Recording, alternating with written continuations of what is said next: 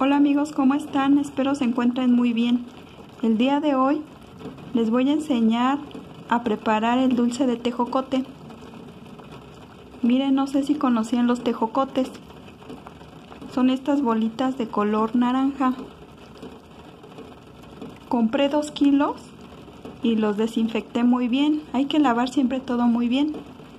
Después puse una ollita con agua y los puse a hervir. Tenemos que esperar a que se cosan muy bien para poder pelarlos. Entonces ya casi están, miren. Se ve luego, luego en la cascarita que se va arrugando. O pueden tocar uno con un palillo, con una cuchara. Y ya cuando estén blanditos, quiere decir que ya están listos para poder pelarse. Ya casi están.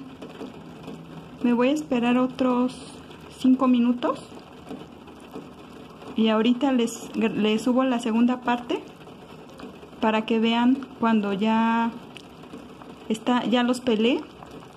Les voy a agregar también canela y piloncillo al gusto. Aquí ya compré mi canela. Miren.